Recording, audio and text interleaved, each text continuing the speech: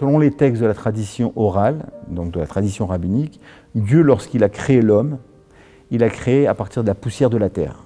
Et cette poussière de la terre, ce sable de la terre, eh bien, a été pris à Jérusalem. C'est la raison pour laquelle, au-delà des euh, croyances, des confessions, au-delà de la politique, tout ce qu'on va entendre, tous, on, est concernés, on est attirés par cette ville de Jérusalem.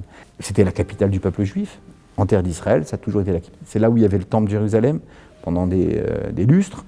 C'est là où il y avait le, le centre économique, le centre névralgique, le centre religieux, le centre politique, c'est euh, le centre juridique. C'est là où il y avait le, Sanhedrin, c'est là où on jugeait.